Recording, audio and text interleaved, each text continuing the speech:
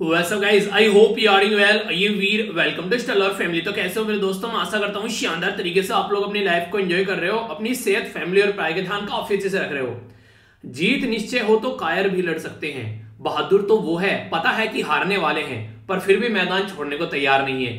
ऐसे योद्धा जो हैं, वो कभी कभी जन्म लेते हैं धरती पर। अगर आप लोग उस कैटेगरी में अपने आप को लाना चाहते हैं तो अपने आप को इतना दृढ़ आप लोगों को बनाना पड़ेगा कि ज़िंदगी में चाहे कुछ भी हो जाए यार चाहे इधर से इधर कुछ भी सारी चीज़ें घंट जाए, बिखर जाए, पर लेकिन ज़िंदगी में जो है ना, एक बार जो ठान लिया तो वो करना ही करना है। उन्हें देखा आप लोगों ने देखा होगा, जानवर अगर गाँव में आप लोग जाते हो कभी, या फिर गाँव से आप लोग बिलोंग करते हो तो जो जानवर होते हैं, उनके जू चिपकी रहती है बड़ी, ठीक है? तो जू आप लोगों ने देखा होगा, अगर आप लोग गाँव से बिलोंग करते हैं, ये उदाहरण मुझे एकदम याद आ गया माइंड में। उनको जब खींचोगे ना, वो मर जाएँगे, पर छुटने के लिए तैयार नहीं रहती है। तो ये होता है डेडिकेशन यानी कि एक तरीके से टारगेट जो पकड़ लिया तो पकड़ लिया।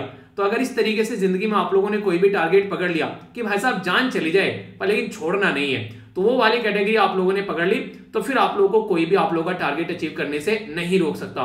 तो करना क्या है? बस एक बार अपने टारगेट को सामने रखो और उसको रिकॉल करते रहो। रिकॉल इतनी ज़्यादा बार कर दो उसको कि वो ज़िंदगी में आप लोग की लाइफ का पार्ट बन जाए और फिर उसी तरीके से उसके ऊपर काम करना स्टार्ट कर दो। आप लोगों का शरीर भी आप लोगों का साथ देना स्टार्ट करेगा, उसे अंदर तक फील करने की कोशिश तो करो, फिर देखना रिज़ल्ट कितने शानदार आते हैं। डिस्कशन काफ़ी शानदार रहेगा, टकटकी लगाकर देखना, काफ़ी सारी चीज़ें आप लोगों को जानने को मिलने वाली है। बेसिक इन्फॉर्मेशन के साथ में स्टेटिक और जो करंट है, वो कवर कर कर मैं आप लोगों को पढ़ाऊँगा। कई सारी मैप बेस्ड लोकेशन भी आप लोगों को दिखाऊँगा तो इस तरीके से आप लोगों का मैप भी तैयार होता हुआ चलेगा। इसी के साथ में अगर आगे बात करें यहाँ पर तो बहुत सारे इंपॉर्टेंट पॉइंट ऐसे रहेंगे जिनमें आप लोगों को लगेगा नोट डाउन कर लेना चाहिए। तो शर्माना नहीं है, जहाँ भी लगेगी नोट डाउन करने लायक चीज़ें तो तुरंत उसको नोट डाउन कर लेना, ठीक है? उन्हें कहते हैं, जिसने करी शर्म, उसके फुट्टे करम। तो शर्म करोगे तो करम फूट जाएँगे। करम मतलब अगर शर्म करोगे तो जो चीज़ अचीव करना चाहते हो, वो अचीव नहीं कर पाओगे। तो हमेशा अपने काम को करने के लिए या फिर अपनी, जो नहीं कहते, सीखने के लिए या फिर एक तरीके से ज्ञान को अर्जित करने के लिए कभी कोई शर्म नहीं करनी चाहिए यार ज़िंदगी में ओके तो बात करेंगे नीति आयोग के बारे में। इसके द्वारा अभी यहाँ पर स्टेट हेल्थ इंडेक्स रिलीज़ किया गया। ये कौन से नंबर का स्टेट हेल्थ इंडेक्स इसके द्वारा रिलीज़ किया, ये आप लोग को बताना है। जब ये इंडेक्स रिलीज़ किया जाता है, यहाँ पर जो नीति आयोग है, वो क्या करता है? वो यहाँ पर नीति आयोग को बेसिकली सपोर्ट प्रोवाइड कराता है टेक्निकल कौन? और इसी के साथ में किसके साथ में डिस्कस करता है? आप लोगों ने देखा होगा ना, कई बार कि हाँ कोई काम आप लोग करना है, कि घर वालों से डिस्कस कर लेते हैं हर एक बार, ठीक है? तो वो चीज़ें हैं बेसिकली आप लोग घर वालों से डिस्कस करो और फिर उसको काम को आगे करो। तो कोई टेक्निकल भी होगा, वहाँ पर जो आप लोगों को सपोर्ट प्रोवाइड कराएगा तो इस तरीके से बातें की जा रही है। अभी अगर हम लोग बात करें आज के डेट में, हमारी कंट्री में कितने राज्य हैं और कितने यूनियन टेरिटरी हैं, ये भी एक ऐसा क्वेश्चन है जिसमें कई सारे बच्चों को अब तक कंफ्यूजन है। आप लोग बताइए, हमारे देश में कितने राज्य हैं और कितनी यूनियन टेरिटरी हैं? बड़ा ही पीदी सा क्वेश्चन है, पर लेकिन कई सारे बच्चों को कंफ्यूजन रहता है। बताऊँगा कंफ्यूजन क्यों रहता है वो भी, क्योंकि रिसेंटली अभी कई सारे चेंजेस यहाँ पर किए गए हैं। अगर आप लोगों से पूछ लू मैं कि हमारे देश में पहला राज्य कौन सा था जो लैंग्वेज के बेस पर यहाँ पर बनाया गया था तो आप लोग बोलोगे आंध्र प्रदेश। किससे अलग किया गया था यहाँ पर? भाई साहब, मद्रास से अलग किया गया था। तो इसके बारे में अगर पूछू कि किस ईयर में यहाँ पर ये बनाया गया था, इसके बाद में कई सारे राज्य आप लोग को लैंग्वेज के बेस पर बनते हुए नज़र आए। आखिर ये इशू क्या है, ये भी डिटेल में डिस्कस करूँगा। काफ़ी प्यारा टॉपिक आप लोगों को यहाँ पर ये बन जाएगा। अच्छा आज की डेट में आप लोग थ्री यूज़ करते हैं फोर या फिर कोई ऐसा भी है जो टू यूज़ कर रहा है, बताइए जरा कमेंट बॉक्स में। कौन सा जी आप लोग यूज़ कर रहे हो जी? हमको भी बता दो जी। हम भी थोड़ा सा जान लेंगे जी। तो बताइए कौन सा जी आप लोगों का चल रहा है? तो ये जो जी है, जो आप लोग का चल रहा है, अभी मैं बताऊँगा कि उसकी स्पीड क्या है, अगर आप लोग फोर यूज़ कर रहे हैं, और अगर फाइव आप लोग यूज़ करेंगे तो उसकी स्पीड क्या होगी? दोनों में डिफरेंस कितना होगा? एक तुक्का आप लोग मारिए, देखता हूँ कौन सा ही तुक्का मारता है।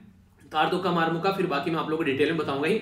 ज्वाइंट एक्सरसाइज के बारे में बात करेंगे इंडिया और यहाँ पर एक और कंट्री के साथ में एक ज्वाइंट एक्सरसाइज है, इसका नाम है यहाँ पर मैत्रा शक्ति तो मैत्रा शक्ति यहाँ पर किसकी कंट्री के साथ में मतलब किसकी कंट्री नहीं मतलब कौन सी कंट्री के साथ में? किसकी कंट्री का मतलब क्या है? एक ही कंट्री होगी ना जो भी होगी सामने? किसकी थोड़ी ना है वो कंट्री तो यहाँ पर आप लोग को बताना किसके साथ में हम लोग यहाँ पर ये एक्सरसाइज करते हैं। कॉन्फ्रेंस ऑफ़ पार्टी का नाम आप लोगों ने सुना? 26 जब अभी कहाँ पर हुई? बताइए चले कहाँ पर हुई? डिस्कस करूँगा तो बताऊँगा। इसमें नेट ज़ीरो एमिशन की बात की गई हमारे द्वारा। प्राइम मिनिस्टर मोदी साहब के द्वारा छप्पन इंच का जो सीना है, वो चौड़ा तान करके बोला गया कि हम लोग 2070 तक यहाँ पर चीज़ें अचीव करेंगे। तो ये भी गर्व की बात है, सबके बस की बात नहीं है। अब यहाँ पर अचीव कितना करेंगे? तो तो देखिए, जैसे जैसे हम लोग स्टेप उठाएँगे, उसके बेस पर चलेगा। पर लेकिन उसको अनाउंसमेंट कर देना। जैसे आप लोगों ने बोल दे कि हाँ हम लोग यहाँ पर अपना टारगेट अचीव कर लेंगे इस साल तक। तो आप लोग बोलोगे हाँ इस साल में सिलेक्शन होना ही होना है। तो ये कोई आसान काम नहीं होता है कि सबके सामने लिखकर चिपका देना कि सिलेक्शन होगा तो भाई साहब इस साल में होगा। तो वो वाली बातें मैं आप लोगों को बोल रहा हूँ, ठीक है? तो काफ़ी इंपॉर्टेंट है, इसके बारे में समझेंगे काफ़ी सारी बातें। इसी के साथ में बात की जा रही है कंट्री लाइक इंडिया अगर अपने देश के बारे में आप लोग बात करते हैं तो अगर इसको आप लोग समझेंगे तो यहाँ पर हमारे देश में अगर कल को 2070 तक हम लोग को अगर ये, अरे यार। समझ में आया मैंने क्या बोल दिया? चलो जिसको समझ में आ गया सही, जिसको नहीं आया बाद में बताऊँगा, ठीक है? तो यहाँ पर हम लोग को अचीव करना है। ये क्या करना है? बेसिकली कितना ट्रिलियन हम लोग को रिक्वायरमेंट होगा इसको अचीव करने के लिए, ये आप लोग को बताना है, ठीक है? अभी यहाँ पर एक टाइफून था, जिसका नाम था रे या फिर आप लोग राय भी बोल सकते हैं जिससे ऐश्वर्य राय ठीक है? तो ये है इसका नाम यहाँ पर। ये जो नाम है, इसको एक और लोकल भाषा में बोला जाता है, इसको फिलिपिन में, एक नाम से। और आप लोगों को नाम बताना है, लगभग तीन सौ अठासी यानी कि थ्री एटी एट के करीब लोगों की जान गई इसकी वजह से किस एरिया में आया। और और भी कई सारी बेसिक इन्फॉर्मेशन मैं आप लोगों से डिस्कस करूँगा। तो लेक्चर तो यार काफ़ी इंटरेस्टिंग रहेगा। इंजॉय करिएगा अच्छे से। चीज़ों को हँसी हँसी खेल खेल में काफ़ी कुछ आप लोग सीख जाओगे। और इसकी चलते लेक्चर को अच्छे से एंजॉय करते रहना। जहाँ पर लगे डाउट है तो वहाँ पर बताना। आगे आने वाले टाइम में फिर डाउट वगैरह क्लियर हो जाएँगे। ठीक है? तो आइए आगे बढ़ते हैं। एक एक एक एक कर कर, एक एक आर्टिकल को कवर करते हैं। जो फ़र्स्ट आर्टिकल मैं आप लोगों से कवर करने वाला हूँ, ये है कर्नाटका और महाराष्ट्र के बीच में एक इशू तो ये है बेसिकली बेलागवी, इसको आप लोग बेलगांव के नाम से भी जानते हैं। ये जो लड़ाई है, ये काफ़ी लंबे समय से चल रही है और बार बार ये न्यूज़ में रहती है। तो आज इसकी कहानी खत्म कर देंगे। आगे से कभी भी न्यूज़ में आएगी तो आप लोग कंफ्यूजन नहीं रहेगा। इस तरीके से पूरा आर्टिकल कवर करने वाले हैं। तो सबसे पहले आप लोग यहाँ पर लोकेशन देखिएगा और फिर सारी चीज़ें हम लोग एक एक कर कर देखेंगे, ठीक है? काफ़ी इंपॉर्टेंट टॉपिक है यहाँ पर ये इंटरनेशनल जो international sorry interstate relation के बारे में आप लोग यहाँ पर बात कर सकते हैं। तो इस तरीके से एक राज्य के साथ में दूसरे राज्य के रिलेशन कैसे हैं? तो उसके ऊपर जीएस पेपर टू के अंदर ये टॉपिक आप लोगों का कवर हो जाता है। और ये है यहाँ पर, ये जो बेलगांव है इसका एरिया ऊपर आप लोग को महाराष्ट्र देखने को मिलेगा और नीचे है कर्नाटका ये बेलगांव वाला एरिया जो है, वो टच करता है यहाँ पर गोवा को भी एक साइड में। तो यानी कि अगर इसको अलग से हम लोग एक एरिया माने और बोले कि इसको किस किस एरिया के साथ में टच कर रहा है आज के में तो कितने राज्यों के साथ में टच कर रहा है? तो ऊपर इसका हो गया महाराष्ट्र, नीचे हो गया इधर साइड में आप लोग को गोवा और नीचे हो गया यहाँ पर कर्नाटका तो तीन ऐसे राज्य हैं जिनको यहाँ पर ये बेलगांव वाला एरिया टच करता है। अगर एग्जैक्ट लोकेशन आप लोग इसकी देखना चाहते हैं तो ये है यहाँ पर एग्जैक्ट लोकेशन ठीक है? तो इसको यहाँ पर बेलागवी या फिर बेलगांव के नाम से भी आप लोग यहाँ पर जानते हैं। तो ये काफ़ी इंपॉर्टेंट एरिया है, जो कि काफ़ी ज़्यादा कंट्रोवर्सी में रहता है। कंट्रोवर्सी का रीजन क्या है? तो मुद्दा समझेंगे डिटेल में। कंट्रोवर्सी का रीजन यहाँ पर यह है कि जब भी कोई इलेक्शन होते हैं तो सारे ऐसे इशू जो है वो इलेक्शन में आएँगे। किसी को रिजर्वेशन देना है रिलीजन के नाम पर लड़ाई करवानी है, या फिर कोई भी इशू अगर किसी को अगर उठाना है तो ये सारे इलेक्शन के लिए इनको रिज़र्व रखा जाता है कि इलेक्शन आने दो, तब इन मुद्दों के बारे में बात करेंगे। तभी तो जनता भड़केगी, और जनता भड़केगी तो फिर हमको वोट देगी। तो ये सारे इशू आप लोगों को उसी टाइम पर रखे मिलेंगे। तो यहाँ पर कर्नाटका और महाराष्ट्र के बीच में ये इशू है। पर लेकिन जो ये बेलागवी है, अगर आप लोग बात करें इसको इसको बेलगांव आप लोग बोलते हैं तो ये पर्टिकुलर एरिया जो है, ये आज के डेट में कर्नाटका के अंडर में है। पर दिक्कत की बात यहाँ पर ये है, यार यहाँ नब्बे प्रतिशत जो जनता है बेसिकली वो मराठी लैंग्वेज बोलती है। 80 से 90 प्रतिशत अगर आप लोग जनता यहाँ पर देखोगे, यानी कि मूल के मराठी है, अगर बोलने, अगर भाषा बोलने के बारे में बात करें तो मराठी है, पर लेकिन ये रीजन आता है किसके अंदर में? कर्नाटका के अंदर में। तो दिक्कत यहाँ पर यह है कि जब यहाँ पर हमारी कंट्री में स्टेट रीऑर्गेनाइजेशन एक्ट लेकर आया गया उन्नीस सौ छप्पन का तो यहाँ पर उसके चलते यहाँ पर ये पर्टिकुलर जो रीजन है, ये यहाँ पर कर्नाटका की झोली में डाल दिया। अब कर्नाटका की झोली में तो डाल दिया, पर लेकिन जो लोग हैं, वो भी चाहते हैं कि यार हम भी यहाँ पर मराठी लैंग्वेज बोलते हैं, और हमारा बेसिकली फीलिंग भी मराठी वाली है तो क्यों ना हम लोग मराठा के साथ में जाकर मिल जाए, यानी कि महाराष्ट्र के साथ में जाकर मिल जाए। पर लेकिन जो बोलना और करना, उसमें काफ़ी ज़्यादा डिफरेंस आप लोगों को नज़र आएगा। कथनी और करने में काफ़ी ज़्यादा फ़र्क जब देखने को मिलेगा, तब इशू जो है, वो इतने लंबे खिंच जाते हैं। अभी महाराष्ट्र के द्वारा बात करें तो सेक्शन 21 जो है एक्ट का, उसके बेसिकली उसको इन्वोक किया गया, यानी कि उसको इंप्लीमेंट करने की कोशिश की गई। और इसके द्वारा यहाँ पर मिनिस्ट्री ऑफ़ होम अफेयर यानी कि गृह मंत्रालय के पास में गए। और इनके द्वारा बोला गया, यार देख गृह मंत्रालय, भाई यार ये एरिया हमारा है, इसको हमें पकड़ा दे। बहुत दिन हो गए यार मतलब माथा पच्ची करते हुए। ये कर्नाटक के अंदर है और हमारे लोग हैं यहाँ पर तो ये एरिया हमको क्यों नहीं दे देता? तो यहाँ पर इसके द्वारा बोला गया, इसके बदले में हम ऐसा नहीं कि फ्री में मांग रहे हैं। इसके बदले में हम भी ज़रूर कुछ देंगे। अब वो कुछ क्या इसके बारे में बात करूँगा और ये मांग क्या रहे हैं, पहले वो देखिए। यहाँ पर 2806 स्क्वायर माइल्स का यहाँ पर एरिया है, लगभग 814 के करीब ये गाँव है। और अगर मोटे मोटे तौर पर बोला जाए, इसी के साथ में यहाँ पर अर्बन सेटलमेंट भी है। जैसे बेलागवी हो गया, कारवार हो गया और इसी के साथ में यहाँ पर निपानी ठीक है? तो यहाँ पर ये पर्टिकुलर एरिया में लगभग टोटल मोटे मोटे तौर पर अगर बात करूँ तो मोटे मोटे तौर पर लगभग आप लोग बोल सकते हैं कि सात लाख के करीब जो यहाँ पर जनता रहती है। तो ये एरिया जो है आज़ादी से पहले ये मुंबई के पास में था। पर लेकिन आज़ादी के बाद में ये कर्नाटक के पास में पहुँच गया। तो इसी के ऊपर यहाँ पर पूरा जो है ये माहौल गरमाया हुआ है। एग्जैक्ट लोकेशन ये रेड मैंने आप लोगों को दिखा दिया। तो ये इतना बेसिकली यहाँ पर दिक्कत देखने को मिलती है कि ये लाल लाल हो गया बेचारा सारा, ठीक है? मतलब कहने का ये कि दिक्कत काफ़ी ज़्यादा है यहाँ पर। अभी मैं आप लोगों को बता दूँ यहाँ पर कंडीशन क्या है। आप लोगों को मैंने बताया अभी यहाँ पर कि मैक्सिमम जो लोग हैं वो मराठी लैंग्वेज बोलते हैं। और ये जो मराठी लैंग्वेज बोलने वाले सारे लोग हैं, ये चाहते हैं कि मराठा में यहाँ पर इस रीजन को जो है वो इंक्लूड कर लिया जाए। क्योंकि एक टाइम था जब यहाँ पर ये मराठा के पास में था, अब यहाँ पर ये आ गया कर्नाटक के पास में। तो हिस्ट्री तो आप लोग को देखने को मिलेगी कि पहले मराठा के पास में था, अब कर्नाटक के पास में आ गया और उसको वापस मांग रहे हैं। तो पहले यहाँ पर आज के में जिसको आप लोग कर्नाटका बोलते हैं, पुराने जमाने में यानी कि बाबा आदम के जमाने में हम लोग इसको महसूर बोला करते थे, ठीक है? आप लोगों ने सुना भी होगा ना M Y S O R E तो ये महसूर नाम का स्टेट हुआ करता था तो बाद में इसका नाम चल के कर्नाटका कर दिया गया। तो ये जो महसूर से कर्नाटका हुआ, उसी के साथ में इसको इंक्लूड किया गया। तो पहले यहाँ पर ये महसूर था, अब यहाँ पर कर्नाटका है। पर लेकिन लड़ाई क्या है? लड़ाई आप लोगों को बताया मैंने कि 80 प्रतिशत के करीब जो पॉपुलेशन है, वो मराठी लैंग्वेज बोलती है। और उसी के चलते यहाँ पर चाहते हैं कि वो मराठा स्पीकिंग लोगों के पास में चली जाए। अब दिक्कत क्या है? अब ये बताओ, मराठा वाले चाहते हैं कि हमारे पास में आ जाए, कर्नाटका वाले चाहते हैं कि जो हो गया हो गया छोड़ो साइड में, मिट्टी डालो इसके ऊपर, हम ना करते कुछ है? जो चल रहा है, बढ़िया चल रहा है, ठीक है? तो इनके द्वारा ये बोला गया। अब यहाँ पर मुद्दा क्या है? मुद्दा यहाँ पर बेसिकली ये निकल के आता है कि जब भी कोई पॉलिटिकल पार्टी जैसे कि शिवसेना के बारे में बात कर लीजिए, या फिर यहाँ पर एनसीपी के बारे में बात कर लीजिए तो टाइम टू टाइम इस मुद्दे को उठाते रहते हैं। और जब भी कोई इस मुद्दे को उठाएगा तो ये मार्केट में आएगा, और जब भी ये मार्केट में आएगा तो ये आप लोग के सर में दर्द करेगा कि ये क्या आ गया। जिसने सुन लिया, उसको तो समझ में आ गया, जिसने नहीं सुना, वो फिर से माथे पर हाथ रखकर पछताएगा कि यह क्या आ गया। तो इसलिए ऐसी कोई भी अगर ज़िंदगी में चीज़ें हो जो कि लगे बार बार सामने आने वाली है, कोई ऐसा टॉपिक हो, कोई ऐसी दिक्कत हो, उसको ना एक बार बैठकर खत्म कर ही लेना चाहिए, वरना फिर से आगे सर में दर्द करेगा। तो इसलिए मैंने आप लोग यहाँ पर डिटेल में बताया कि कंडीशन क्या है और यहाँ पर एक्चुअल में चल क्या रहा है और ये करना क्या चाह रहे हैं। थोड़ा सा और जूम कर कर अगर आप लोग इसको देखना चाहते हैं तो ये एग्जैक्ट एरिया आप लोग को ऐसा कुछ देखने को मिलेगा। यहाँ पर अलग अलग विलेज के नाम बताएँगे, बिल्कुल भी नहीं रटना है। बट यहाँ पर जो कंडीशन है, वो आप लोगों को ये देखने को मिलेगी कि यहाँ पर महाराष्ट्र के द्वारा ये बोला गया था कि 206 के करीब जो विलेज हैं, ठीक है? हम तुमको दे देंगे, जो कि हमारे पास में कन्नड़ स्पीकिंग लोग हैं, यानी कि जो कन्नड़ लैंग्वेज बोलते हैं। और आप लोग हमको दे दो मराठी लैंग्वेज बोलने वाले लोग तो यहाँ पर दोनों को आपस में एक तरीके से मेलजोल कर कर आपस में रिटर्न कर लेते हैं। तो बोला था ना, यहाँ पर लगभग दो गाँव है, वो मांग रहे हैं कितने? आठ सौ चौदह गाँव मांग रहे हैं। तो इसके चलते यहाँ पर ये अभी इशू चलता हुआ काफ़ी लंबे समय से आगे बढ़ रहा है यहाँ पर। अब मैंने कर्नाटक की भी बात बता दी क्या चाह रहा है और महाराष्ट्र की बात बता दी क्या चाह रहा है, पर लेकिन अभी यहाँ पर जानते हैं सेंट्रल गवर्नमेंट क्या चाह रही है। सेंट्रल गवर्नमेंट के द्वारा यहाँ पर एक कमेटी बनाएगी जिसका नाम था यहाँ पर महाजन कमेटी महाजन कमेटी बनाई गई उन्नीस सौ छियासठ में। महाजन कमेटी को बोला गया, यार इसको ढंग से चीज़ों को सोल्यूशन निकालो कि आखिर चक्कर क्या है, इसको अच्छे से देखते हैं। महाजन कमेटी के द्वारा क्या किया गया, कुछ विलेज ऐसे थे, कारवार हो गया। इसी के साथ में यहाँ पर इसी के साथ में यहाँ पर हलियाल हो गया और यहाँ पर यह सुपारना ठीक है? तो ये तालुका है कर्नाटका के अंदर, ठीक है? इनको बोला गया, इनको महाराष्ट्र को दे देना चाहिए। पर लेकिन बेलागवी, यानी कि जो बेलगांव है, वो उसने फिर से कर्नाटका के अंदर ही रख दिया। यानी कि इस कमेटी के द्वारा भी बोला गया कि कर्नाटका के अंदर रहना चाहिए। अब भाई साहब, ये फिर करना, ये फिर महाराष्ट्र वाले पहुँच गए इशू को लेकर सुप्रीम कोर्ट के अंदर में। अब सुप्रीम कोर्ट बोलने लगा, यार, ये छोटी छोटी बातें मेरे पास तो लेकर आया मत करो। ऐसा है, मुझे और भी बहुत काम है, ठीक है? चौबीस घंटे सर में दर्द, कभी कुछ कभी कुछ, चै चै, पै पै। अरे, कुछ ढंगे काम कर लेने तो यार, लोग वैसे ही परेशान है, बेचारे, उनके न्याय कर लेने तो उनके लिए। तो अपने आप मिलकर इसको अपने आप सुलझा लो, ठीक है? बात बात पर सुप्रीम कोर्ट चल देते हैं, उठा के अपना टंडेरा, ठीक है? ऐसे मत आया करो, ठीक है? फालतू के इशू लेकर। तो इनके द्वारा ये बोलकर इनको वापस कर दिया गया। तो सुप्रीम कोर्ट में ये मैटर पड़ा हुआ है, कहने का मतलब ये है, अभी सुप्रीम कोर्ट जो है, देखेगा आगे चलकर कुछ सोल्यूशन निकालना है तो जब टाइम लगेगा तो देख लेंगे। मतलब मोटे मोटे तौर पर बोलूँ 2006 से लेके अभी मैं आर्टिकल जो है वो 2021 में आप लोगों से डिस्कस कर रहा हूँ। तो अब तक तो सुप्रीम कोर्ट का टाइम लगा नहीं है, ठीक है? अब आगे चलकर अगर 50 साल बाद फिर होगा, और मैं आप लोगों को पढ़ा रहा हूँ उस टाइम पर, दो में तो हो सकता है उस टाइम पर भी फिर कुछ ऐसी चीज़ें हम लोग डिस्कस करें कि ऐसा कुछ हुआ था, ठीक है? तो इशू अभी चलते रहेंगे तो अभी आप लोगों को टॉपिक समझ में आ गया तो फिर जो भी होगा उसको आगे देख लेंगे। वैसे आगे भी आप लोग लेक्चर सुनते रहोगे ना 2070 तक पता चला छोड़कर भागे। छोड़कर तो नहीं भागोगे ना। लेक्चर सुनते रहना, पढ़ाता रहूँगा, जब तक साँसें चलती रहेंगी, ठीक है? चलिए, जो भी है, जब तक हाथ पैर बने हुए हैं, तब तक सब चीज़ें सही चलती रहती है, ठीक है?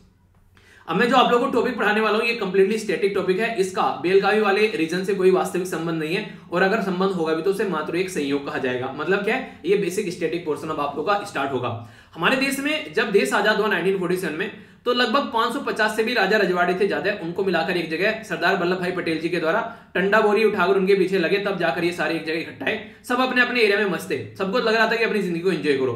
तो उस टाइम पर पहले लगा कि यार इनको डिवाइड कैसे करते हैं? तो समझ में तो कुछ आ नहीं रहा था कि कैसे कैसे डिवाइड करेंगे।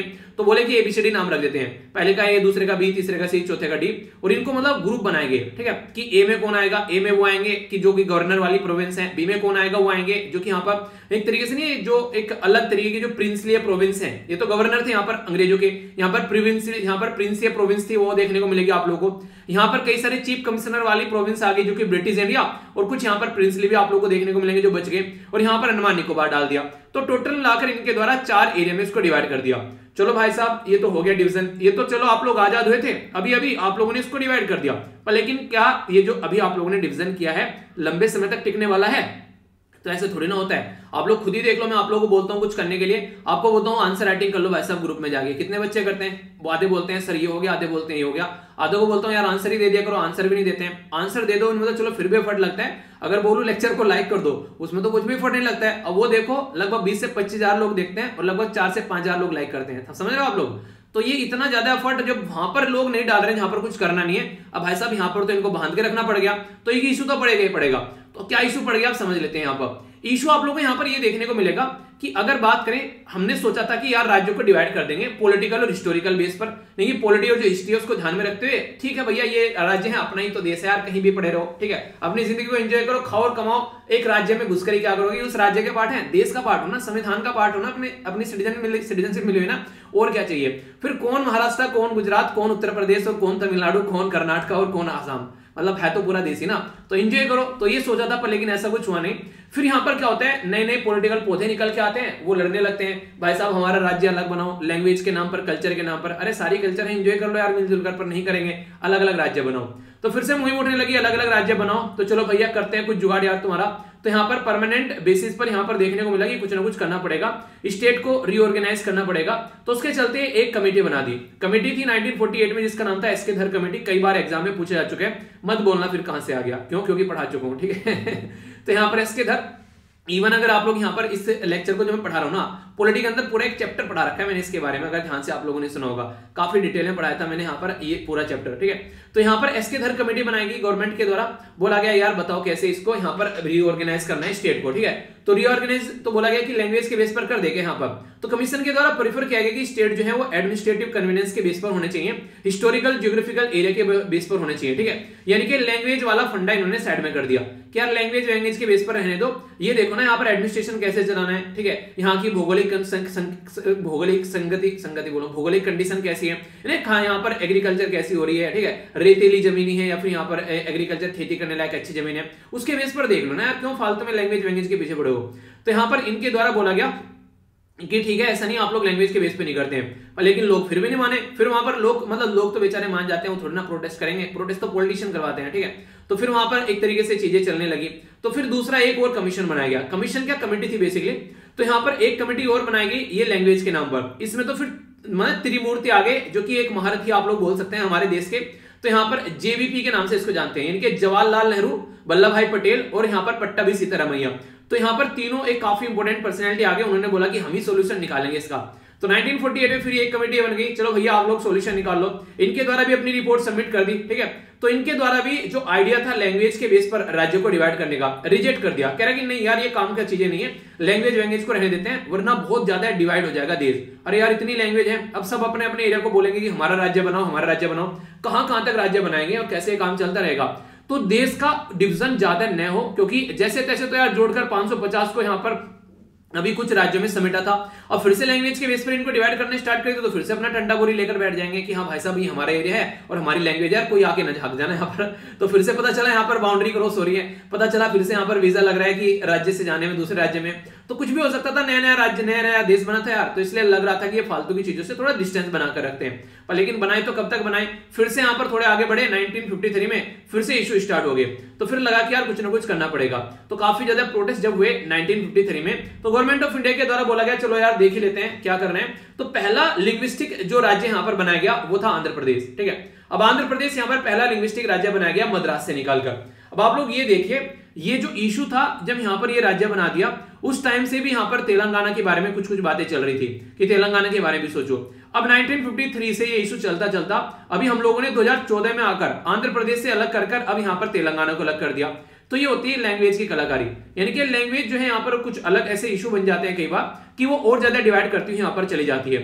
तो ये इश्यूज़ आप लोगों को यहाँ पर देखने को मिले। तो यहाँ पर यानी कि जो जेवीपी कमेटी है, वो भी फेल हो गई अपनी, जो बेसिकली मुद्दा था उसको इंप्लीमेंट करने में, क्योंकि लोग जो है वो नहीं माने प्रोटेस्ट करने लगे। तो कहाँ तक लोगों के सामने आप लोग आओगे?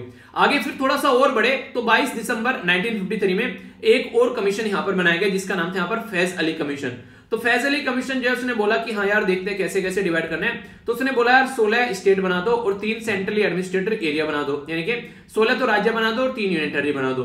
अब जैसे जैसे इसने बोला कि सोलह राज्य बना दो, तीन यूनियन टेरिटरी बना दो, अब यहाँ पर गवर्नमेंट को भी सारी चीज़ें अच्छी नहीं लगी, पर फिर भी इसकी काफ़ी सारी बातें मान ली। उन्होंने क्या किया? चौदह तो राज्य बना दिए और छह यूनियन टेरिटरी बना दी। चलो, ना तेरह ना मेरा, सोलह की जगह छह कर दिया और तीन की जगह इसके दो घटा दिए और इसके तीन बढ़ा दिए, ठीक है? और ये फिर यहाँ पर चलकर हमारी कंट्री का पूरा सिस्टम तैयार हो गया उन्नीस सौ छप्पन में। इसको बोलते हैं हमारी कंट्री में स्टेट रीऑर्गेनाइजेशन एक्ट उन्नीस सौ छप्पन। तो जो ये स्टेट रीऑर्गेनाइजेशन एक्ट उन्नीस देखने को मिलता है। इसके बारे में कभी भी क्वेश्चन पूछेगा नॉर्मली तो याद रखेगा ये फैज अली जो कमीशन है, यहाँ पर ये इसकी रिकमेंडेशन आई, उसके बेस पर यहाँ पर चीज़ें आप लोगों को ऐसी देखने को मिली।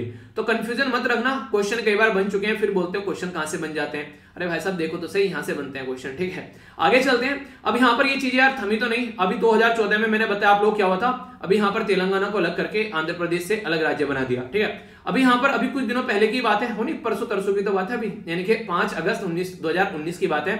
हमारी कंट्री में आर्टिकल 370 को जो है इनोपरेटेड किया गया इनके पहले अच्छा खासा काम कर रहा था, अभी यहाँ पर इसको रोक दिया गया। क्यों? क्योंकि पसंद नहीं आ रही हमको कि हमारा देश का जो कोई पर्टिकुलर पोर्शन है, उसके अंदर अलग से संविधान रहे, उसके अलग अंदर से यहाँ पर सिटीजनशिप रहे। एक अकेला राज्य जो खुद की सिटीजनशिप ले बैठा है, जबकि ऑलरेडी सारे राज्य हमारे अच्छे से चीज़ों को एंजॉय कर रहे हैं। तो इसको यहाँ पर हटाया गया। मुझे पर्सनली चीज़ें पसंद आई। कि हाँ इसको हटाया गया। पर लेकिन दिक्कत ये देखने को मिल रही है, अब तक भी वहाँ पर नॉर्मल इशू नहीं है मतलब नॉर्मल ग्राउंड लेवल पर सिचुएशन नहीं है।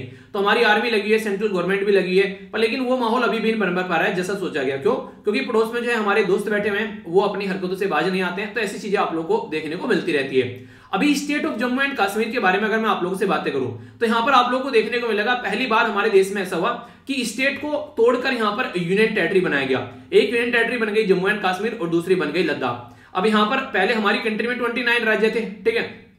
29 राज्य में से क्या हुआ? यहाँ पर देखिए, पहले थे 28 राज्य है, ठीक है, समझिएगा।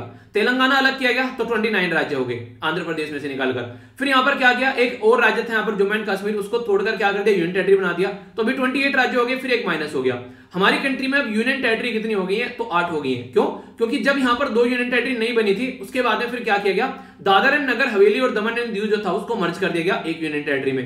तो कहने का मतलब यहाँ पर यह सात से जो थी हमारी कंट्री में यूनियन टेरिटरी नो हो गई थी, जैसे यहाँ पर ये वाला मुद्दा आया। क्यों? क्योंकि दो यूनिट टेरिटरी एक साथ नई नई बन गई नई नई यूनिट टेरिटरी का जन्म हो गया, जम्मू एंड कश्मीर और लद्दाख। तो टोटल मिलाकर नो यूनियन टेरिटरी होगी। अब ये नो यूनियन टेरिटरी होगी तो फिर क्या क्या यार नो तो ज़्यादा हो गई कुछ कम करो। तो फिर क्या किया? दादर एंड नगर हवेली और दमन एंड दीव को मर्ज कर दिया। ये यहाँ पर एक पर्टिकुलर एक्ट के थ्रू और यहाँ पर एक यूनियन टेरिटरी कम हो गई। तो इसका मतलब फिर से आठ यूनियन टेरिटरी हो गई। तो आज की डेट में हमारे देश में टोटल मिलाकर 28 यानी कि 28 राज्य हैं और आठ यूनियन टेरिटरी है। अब ये मत बोल देना कि सर समझ में नहीं आता कहाँ से आठ अट्ठाईस राज्य हो गए, आठ यूनियन टेरिटरी हो गई कोई नहीं, पूछ लेना, फिर बता दूँगा, ठीक है? कई सारे बच्चे नया नया देखने स्टार्ट करते हैं ना तो उनको इशू हो जाते हैं कई बार इसमें, ठीक है? तो मुझे लगा कि थोड़ा डिटेल में बता देते हैं ताकि कंफ्यूजन दूर हो जाए आप लोग और चक्षु खुल जाए। तो यहाँ पर दो टॉपिक कवर करा दिए। एक तो बेलागवी वाला टॉपिक हो गया आप लोग का पूरा, यानी कि बेलगांव वाला टॉपिक हो गया पूरा, और दूसरा हो गया स्टेट रीऑर्गेनाइजेशन वाला टॉपिक पूरा। तो यहाँ पर दो टॉपिक यहाँ पर एक करंट का और दूसरा स्टेटिक का मैंने कंप्लीट करा दिया, ठीक है? कोई कंफ्यूजन होगा तो बताइएगा, और अगर थोड़ा सा और डिटेल में और चीज़ें समझनी है तो पोलिटी में जाकर लेक्चर देख लेना, यहाँ पर और डिटेल में मैंने सारी चीज़ें पढ़ा रखी है कि कैसे कैसे हमारे कौन कौन से राज्य बने। तो सारा डिटेल में बहुत अच्छे से पढ़ा रखा है, ठीक है? कोई कंफ्यूजन नहीं होगा चक्षु आप लोग खुल जाएँगे। चलिए अब आगे सॉरी चलिए अब आगे चलते हैं। कई बार ना स्लिप टंग हो जाती है। टंग स्लिप हो जाती है, ठीक है? कुछ ही बोल लो यार मतलब होता तो वही है। चाकू खरबूजे पर गिरे या खरबूजा चाकू पर गिरेगा, कटेगा खरबूजा ही, ठीक है? आगे चलते हैं। इंपॉर्टेंट आर्टिकल है, आप लोग देखते हैं इंडियन एक्सप्रेस के द्वारा काफ़ी डिटेल में कवर किया गया यहाँ पर 5G के बारे में बात की जा रही है। तो समझते हैं आखिर क्या मुद्दा है और कैसे कैसे चीज़ों को इंप्लीमेंट करने को किया जा रहा है यहाँ पर, ठीक है? यहाँ पर बात करेंगे हम लोग साइंटिफिक इनोवेशन और इसी के साथ में डिस्कवरी के बारे में। तो साइंस और टेक के अंदर आप लोग का ये जीएस थ्री के अंदर पोर्शन कवर हो जाता है। अगर बात करते हैं तो डिपार्टमेंट ऑफ़ टेलीकम्युनिकेशन जिसको डीओटी बोलते हैं उसके द्वारा अनाउंस किया गया कि हम यार यहाँ नए साल का गिफ्ट आप लोगों को देने जा रहे हैं ठीक है? तो 5G टेक्नोलॉजी जो है यहाँ पर उसको इंप्लीमेंट करने जा रहे हैं। अच्छा आप लोग क्या गिफ्ट दे रहे हो नए साल का ये बताओ ठीक है? एक बच्चा कह रहा है सर नए साल का क्या गिफ्ट दोगे? सारी चीज़ें मेरे से ही लिया करोगे क्या? कुछ खुद भी दे दिया करो है? अपने सिलेक्शन कर कर कर दो मुझे ला ला कर कि हाँ सर ये लो आपका गिफ्ट है ठीक है? तो कुछ कर, कामों से करो कि हाँ लगे कि हाँ एस फैमिली ने धमाल मचा रखा है देश के अंदर में। तो ऐसा कुछ होना चाहिए? तो दो कुछ अच्छे अच्छे गिफ्ट तो यहाँ पर बात करें तो आप लोग देखिए, अपना ना पैटर्न अच्छे से फॉलो करके चलो। सारी चीज़ें यार एक पैटर्न में अगर लेकर चलोगे तो टारगेट को अचीव कर पाओगे ओके फिर आप लोगों को सारी चीज़ें अच्छे से आप लोगों को होती हुई नज़र आएगी। और एक बच्चा ये बोला था, सर, जब यहाँ पर हम लोगों ने जो एस फाउंडेशन डे सेलिब्रेट किया था, उस टाइम पर मैं वीडियो भेजना भूल गया था। तो सर, मैं अभी सेंड कर दूँगा आप लोग सेंड कर सकते हैं अगर आप लोगों को लगता है, ठीक है? आप लोग उसको टेलीग्राम पर सेंड कर दीजिए। मैंने आप लोगों को लिंक भी बताया था यहाँ पर। वो था Veer twenty four Veer twenty four तालियान ठीक है? वीर इसी के साथ में फिर ट्वेंटी फोर लिख देना और फिर तालियान T A L Y A ठीक है? तो यहाँ पर आप लोग सेंड कर सकते हैं। ये आप लोग, जो भी अगर आप लोग को वीडियो लगे, कोशिश करो कि दो तीन मिनट से ज़्यादा ना हो, फिर उससे ज़्यादा तो ज़्यादा हो जाती है, ठीक है? दो से तीन मिनट के बीच में रख लेना। अगर मुझे अच्छी अच्छी मिलेंगी प्रोडक्टिव वीडियो ठीक है? तो फिर उनको मर्ज करके डालूँगा, अच्छे से अपना एक्सपीरियंस शेयर कर सकते हैं आप लोग। एस के साथ में कैसा एक्सपीरियंस आप लोग का रहा लाइफ में क्या टारगेट आप लोग रखना चाहते हैं, ठीक है? तो ये सारी बातें आप लोग मेरे साथ में शेयर कर सकते हैं। कोशिश करिएगा कि दो या तीन मिनट के अंदर अंदर ही, ठीक है? ये नहीं कि बस बैठकर फिर पूरी राम कहानी सुना रहे हो, ओके? पता चला मेरे लेक्चर से भी लंबी बना दिया आप लोगों ने। तो देख लेना, अगर आप लोग को लग रहा है सेंड करनी है तो सेंड करना। फिर उसको मर्ज कर कर आप लोग के जो भी एक्सपीरियंस रहेंगे, उसको शेयर करेंगे। और जिसका सिलेक्शन हुआ है एसएलवी की हेल्प से, वो भी अपना एक्सपीरियंस शेयर कर सकते हैं। किसी भी एग्ज़ाम में अगर सिलेक्शन हुआ है तो आप लोग अलग से वीडियो शेयर कर देना। ये एक और अच्छा रहेगा, और बच्चे भी मोटिवेट हो जाएँगे। कुछ एक्सपीरियंस शेयर कर सकते हो अगर आप लोग के सिलेक्शन होते हैं, अगर आप लोगों को लगता है। फ़ोटो के साथ में आप लोग अपना एक्सपीरियंस शेयर कर सकते हैं वीडियो के साथ में। मतलब जैसे भी सुटेबल लगे, आप लोग को कंफर्टेबल फील होना है उसके लिए बस, ठीक है? तो ये मुझे लगा, कई सारे बच्चे कई दिन से बोल रहे हैं, सर तो मैंने लगा कि आप लोग को बता देता हूँ तो वीर ट्वेंटी तालियान के नाम से यहाँ पर तो यहाँ पर आप लोग सेंड कर देना टेलीग्राम पर, ठीक है? देखूँगा जो भी सही रहेगा, और वैसी चीज़ें मत ना यार, कई सारे बच्चे लग जाते हैं कि good morning good afternoon sir वो कमेंट बॉक्स में ही कर लिया करो, वहाँ पे बस ये चीज़ें करना जिसके लिए बनाया गया ठीक है? आंसर राइटिंग ग्रुप में आंसर राइटिंग वाला काम करना जहाँ जहाँ पर जो चीज़ें बना रखी है ना, वो वहीं पर ही करो तो मुझे आसानी रहती है। वरना यार, मैं रावण तो हूँ कि दस सर है मेरे पास में और आठ नौ हाथ पैर है मेरे पास में, एक ही इंसान है तो क्या क्या करे? तो चीज़ों को थोड़ा संभाल लेना, ठीक है? आगे चलते हैं नेक्स्ट न्यूज़ की ओर। ये बात करते हैं यहाँ पर डिपार्टमेंट ऑफ़ टेलीकम्युनिकेशन के बारे में। इसके द्वारा अनाउंस किया गया मेजर जो मेट्रोज है हमारी कंट्री के अंदर बड़ी बड़ी सिटीज़ है, वहाँ पर अगले साल यानी कि न्यू ईयर का गिफ्ट आप लोगों को मिलने वाला है। तो 5G यहाँ पर सर्विस हम लोग स्टार्ट करने जा रहे हैं। तो 5G सर्विस स्टार्ट हम लोग करने जा रहे हैं। अब तक हमारे देश में हम लोगों ने 1G 2G 3G अब तक तो 3G पर घूम रहे थे, भाई साहब। अब जाकर यहाँ पर 4G आई है और 4G भी अभी स्टार्ट ही हुई थी, ढंग से तो अभी इंप्लीमेंट हुई है, कहीं सारे जगह पर अब तक भी नहीं पहुँची, एकदम 5G आ गई।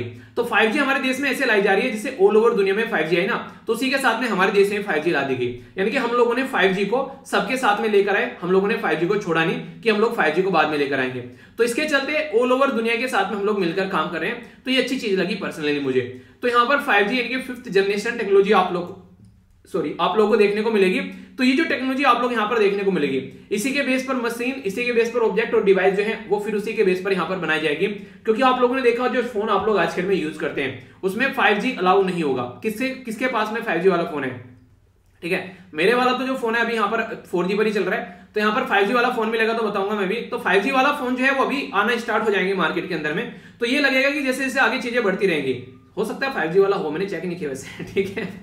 तो पता नहीं मतलब लगा मुझे वो नहीं होगा। अगर इतने एडवांस हो, बना दिया हो तो कोई पता नहीं, ठीक है? तो यहाँ पर अगर बात करेंगे तो इंटरनेट की स्पीड जो रहने वाली है, जो फ़िलहाल अभी आप लोग को स्पीड मिल रही है, उसकी 20 से मल्टीप्लाई कर देना, यानी कि 20 गुना स्पीड आप लोग को मिलने वाली है। अगर उस टाइम पर आप लोग को वन जीबीपीएस मिल रही थी, यानी कि अगर आप लोग को गीगा पर सेकंड मिल रही थी वन तो अब यहाँ पर 20 गीगा पर सेकंड आप लोग को मिलने वाली है। यानी कि 20 गुना ज़्यादा आप लोगों को स्पीड मिलने वाली है। तो एक काफ़ी धांसू ये एक्सपीरियंस आप लोगों को रहने वाला है। यानी कि आने वाले टाइम में जो आप लोगों को वीडियो देखना और ज़्यादा आसान हो जाएगा, आप लोगों का इंटरनेट जो है वो और ज़्यादा फ्रीक्वेंसी बढ़ जाएगा, आप लोग और ज़्यादा इंटरनेट के आदि हो जाएँगे और इसके चलते आप लोगों को और ज़्यादा अपने ऊपर कंट्रोल रखना पड़ेगा ताकि फालतू की चीज़ों से आप लोग डिस्टेंस बनाकर रख सके। तो यानी कि आप लोगों को अपने ऊपर और ज़्यादा लगाम कसनी पड़ेगी, ऐसा बोल सकते हैं।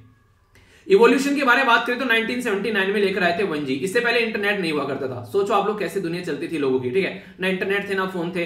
मैं तो कहता हूँ, बहुत अच्छे से चलती होगी, शांति में अच्छे से एंजॉय करते रहते होंगे, अपना पड़े रहे कहीं पे ठीक है, चल रही है ज़िंदगी, खा रहे हैं, पी रहे मज़े ले रहे हैं। आज के में देखो मैसेज आ गया, ये हो गया मेल आ गया, पता नहीं क्या गया यार, ऐसी हो गई ज़िंदगी, ऐसा लगता है कि पता नहीं कहाँ जी रहे हैं। कभी कभी ना ऐसा लगता है कि छोड़ छाड़ के सब चीज़ें हिमालय में चला जाऊँ और कहीं एक शांति सा एक मतलब वहाँ पर कोई कमरा लूँ और आराम से लेट कर अपना ज़िंदगी को व्यतीत करूँ, ठीक है?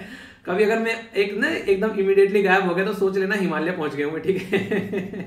टू की बात करें तो यहाँ पर आई थी नाइनटीन में, ठीक है? थ्री जी आ गई फिर 1998 में, फिर फोर जी आ गए यहाँ पर 2008 में। हालाँकि फाइव जी जो है अभी 2019 से बात करें, पर लेकिन कोविड 19 ने जो है इसके ऊपर थोड़ा सा ग्रहण डाल दिया, जिसकी वजह से थोड़ी लेट चल रही है। अगर बात करें यहाँ पर जो फोर जी के बारे में तो यहाँ पर ये फोर जी अगर बात करें थ्री जी के बारे में तो सब में अलग अलग डिफरेंस था।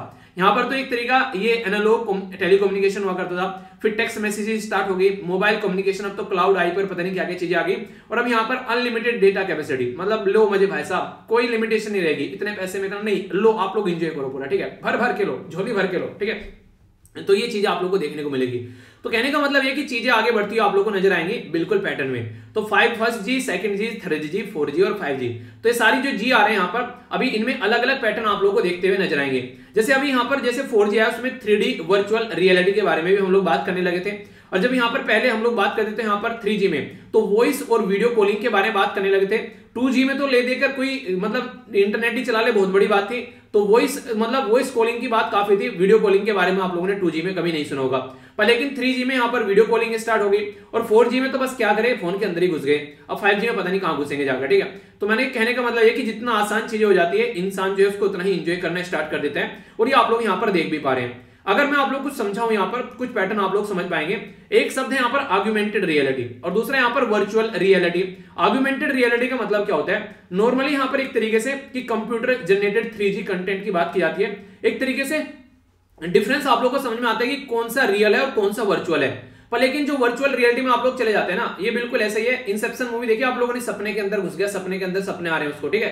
तो वो वाली चीज़ें आप लोगों को यहाँ पर बेसिकली देखने को मिलेगी वर्चुअल रियलिटी में। यानी कि आप लोगों के आसपास में एक पूरा वर्चुअल वर्ल्ड तैयार रहेगा। यानी कि आप लोग आँखों पर एक डिवाइस लगा लेंगे तो ऐसा लगेगा आप लोग अलग दुनिया में चले गए ठीक है? ये बिल्कुल ऐसा लगेगा, जैसे पहली बार मैंने जब मॉल में एंट्री की थी तो उस टाइम पर मुझे ऐसा लग रहा था मैं अलग दुनिया में आ गया हूँ। मैंने पहली बार जब मल्टीप्लेक्स देखा था ना मैं आया था भाई साहब गाँव से निकल के, ठीक है? तो गाँव में आप लोग को पता है माहौल कैसे रहता है। तो मैं वहाँ से निकल के आया, पहली बार जब अपनी सिटी में पहुँचा तो वहाँ पर मॉल के अंदर गए। और जैसे मैंने एंट्री की, मैं ऐसे जाकर खड़ा हो गया बीच में तो बहुत बड़ा सा मॉल था वो। बेसिकली डिस्ट्रिक्ट में था। और मैं ऐसे एंटर की यहाँ पर ठीक है। तो देखिए तो क्या एक इधर एलिवेटर चल रहा है, इधर से एक एलिवेटर चल रहा है, यहाँ से एक लिफ्ट ऊपर जा रही है। ओ भाई साहब, मुझे ऐसा लगा जिसको मूवी नहीं होती है, बिल्कुल, जैसे मूवीज़ होती है। तो मुझे बिल्कुल वो वाली फीलिंग आई। मैंने कहा, मैं कहाँ पर आ गई हूँ? मैं थोड़ी देर तो मैं खड़ा रहा। ठीक है। एक गार्ड थे, फिर मैंने उससे पूछा कि, अंकल जी, मुझे ऊपर जाना है, कहाँ से जाया जाएगा? तो उन्होंने बोला कि एलिवेटर से चले जाओ, मैंने एक उससे लिफ्ट से चले जाओ। अब ऐसा लिफ्ट में कभी बैठे नहीं थे। अब मुझे लगा लिफ्ट छोड़ो और एलिवेटर छोड़ो, अपना नॉर्मल सीढ़ियों से चलते हैं। उसके बराबर में एक नॉर्मल सीढ़ी थी। उससे ऊपर गया। उन्हें तो पहली बार कहीं कहीं जाते एकदम ऐसा कुछ ऐसा देख लो कि पता नहीं यार क्या दिख गया। तो ऐसी मेरी फीलिंग थी, मज़ाक मत उड़ाना, मुझे लगा आप लोग के साथ में शेयर कर दो, पर लेकिन रियलिटी में कुछ कुछ ऐसा ही हुआ था मेरे साथ में, ठीक है? तो ऐसी चीज़ें मतलब होती है तो फिर लगता है कि यार ये कैसी कंडीशन हो जाती है। नॉर्मली आज के दिन में बच्चे जो है वो बचपन से ही मतलब मॉल के अंदर घूम रहे हैं, सारी चीज़ें चल रही हैं। तो उस टाइम पर लगा था मुझे रियलिटी में, मैं उस टाइम पर बाहर आया था निकल के आईटी का पेपर देने आया था। आईटी तो क्लियर हुआ नहीं, एक अलग ही चीज़ें होगी। वो वहाँ पर एक्सपीरियंस कुछ अलग ही मिलने लगे। तो चीज़ें ऐसी कुछ कुछ यहाँ पर आप लोग देख सकते हैं तो चीज़ें बहुत सारी होती है। तो वर्चुअल रियलिटी का मतलब होता है कि ऐसी चीज़ें जो नॉर्मली रियलिटी में नहीं है वर्चुअली आप लोग सारी ऐसा लग रहा है कि आप लोग के पास में है। तो उसको बोलते हैं। तो वर्चुअल रियलिटी एक हेडसेट लगाया जाता है, उसके हिसाब से आप लोग इसको यूज़ करते हैं। यहाँ पर स्मार्टफ़ोन को यूज़ करके भी आप लोग आर्ग्यूमेंटेड रियलिटी में आप लोग घुस सकते हैं। तो कुछ कुछ ऐसा माहौल आप लोगों को यहाँ पर देखने को मिलता है। तो ये कई सारे मुद्दे हैं जिनके बारे में आप लोग आइडिया रखेगा यहाँ पर जब आप लोग 5G के अंदर जाएँगे, ठीक है, आप लोगों ने कभी ऐसा एक्सपीरियंस फील किया जैसे मैंने अभी बताया है? ठीक है, बताना अपना एक्सपीरियंस मज़ाक मत उड़ाना, ठीक है? पता चला कि मेरी मज़ाक उड़ाने लोगों ओके चलो एंजॉय करो यार। तीन बैंड आप लोगों को देखने को मिलेंगे लो हो गया मिड हो गया और हाई फ्रीक्वेंसी आप लोगों को स्पेक्ट्रम बैंड यहाँ पर देखने को मिलेगा। तो जो लो जो लो बैंड आप लोग जिसके बारे में यहाँ पर बोलते हैं, उसके बारे में अगर बात करें तो 100 एमबीपीएस की स्पीड आप लोगों को लगभग यहाँ पर लिमिटेड देखने को मिलेगी। 100 एमबीपीएस मेगाबाइट तो यहाँ पर क्या होता है, जैसे कोई पर्टिकुलर बिल्डिंग होगी, देखिए ये जितनी हाई स्पीड होगी ना, उतना ही ज़्यादा आप लोगों को कम रेंज उसकी नज़र आएगी। यानी कि यहाँ पर अलग अलग ज़्यादा टावर टाइप में आप लोगों को लगाने पड़ेंगे। यानी कि एक पर्टिकुलर बिल्डिंग में चल रहा है, ठीक है? फिर दूसरी बिल्डिंग के लिए अलग से लगाना पड़ रहा है। तो हाई स्पीड का मतलब फिर यहाँ पर हो जाता है कि अलग अलग सेटअप करने पड़ेंगे। तो यहाँ पर बोला जा रहा है कि अगर बात करें टेली कॉम कंपनीज़ के बारे में? तो एक कमर्शियल जो अगर यूज़ करें तो कमर्शियल सेलफोन जो यूज़र है, ठीक है? तो उसके लिए अगर आप लोग बात करेंगे तो यहाँ पर एक स्पेसिफिक डिमांड के तौर पर हाई स्पीड आप लोग को इंटरनेट देखने को मिलेगा। पर लेकिन अगर इंडस्ट्री के पॉइंट ऑफ़ से बात करें तो उसको ज़्यादा फ़ायदा नहीं पहुंचाएगा। उसके लिए अलग से आप लोग को जुगाड़ करना पड़ेगा। तो यहाँ पर जो मोटे मोटे तौर पर देखा जाए तो यहाँ पर तीन लेवल पर डिवाइड किया गया। तो लो वाले एरिया में मैंने बता दिया। जो क्या कंडीशन देखने को मिलेगी? अब एक मिड बैंड आप लोगों को देखने को मिलेगा। तो यहाँ पर और ज़्यादा हाई स्पीड आप लोगों को देखने को मिलेगी। और बेसिकली यहाँ पर इंडस्ट्री स्पेशलाइज जो फैक्ट्री है, उनके लिए अगर स्पेसिफिक एक बिल्डिंग के ऊपर लगा देना है और वहीं पर ही फ़ायदा पहुंचाता रहे तो वो वाला फंडा आप लोगों को देखने को मिलेगा। अब यहाँ पर ये मिड वाले से जब हाई बैंड में आप लोग जाओगे तो यहाँ पर तो फिर ये नहीं वर्चुअल रियलिटी और ये इंटरनेट ऑफ़ थिंग्स ये अलग लेवल की काम होगी ये हमारे और जो आपके बेसिकली चीज़ों से अलग पैटर्न चला गया। तो इसको अभी और ज़्यादा आगे चलकर एक्सप्लोर करेंगे तो एक और हाई लेवल पर चीज़ें होगी। यानी कि 5G में भी और बहुत सारी चीज़ें आप लोगों को अंदर देखने को मिलने वाली है। 5G जितना ऊपर से दिख रहा है, उतना नहीं है। एक प्रॉपर ढांचागत विकास आप लोगों को करना पड़ेगा, तब जाकर चीज़ें चलेंगी। ढांचागत विकास मतलब मैं बोलूँ आप लोगों को यूपीएससी की प्रिपरेशन स्टार्ट करनी है। तो आप लोगों को बुक्स लेकर आनी पड़ेगी, ठीक है? प्रॉपर आप लोग को यहाँ पर सारा एक मटेरियल होना चाहिए। आप लोग के पास में बेसिक एनसीआरटी वगैरह होनी चाहिए। इसी के साथ में पेन कॉपी वगैरह लानी पड़ेगी। बैठने के लिए टेबल चेयर अगर आप लोग लेकर आते हैं, और ज़्यादा बेटर रहेगा। अपना एक प्रॉपर माहौल बनाओ तो उसके हिसाब से लेकर चलो। तो प्रॉपर एक सिस्टम के थ्रू चलना पड़ेगा। वरना ऐसे नहीं चीज़ें होंगी। तो वही चीज़ें यहाँ पर अगर फाइव को यूज़ करना है तो एक सिस्टम क्रिएट करना पड़ेगा, जब चीज़ें आगे बढ़ेंगी प्रॉपर वे में। फिर बढ़ा क्यों नहीं दिक्कत क्या है? आखिर हम लोग ये काम आगे क्यों लेकर चले सबसे बड़ी बात तो यह हमारी कंट्री में जो आज के डेट में हम लोगों ने जो ऑप्टिकल फाइबर लगा रखा है तो यहाँ पर एक तरीके से फेब्रिलाइजेशन जो हुआ है हमारे देश में, वो अभी लार्ज स्केल पर नहीं है। ओनली तीस प्रतिशत एरिया ऐसा है जहाँ पर हम लोगों ने ये ऑप्टिकल फाइबर का जो केबल वगैरह है, वो कनेक्टिविटी बनाई है। तो फिर यहाँ पर 5G हम लोग कैसे आगे लेकर चल पाएँगे? तो पहला तो मुद्दा आप लोगों को ये देखने को मिलेगा।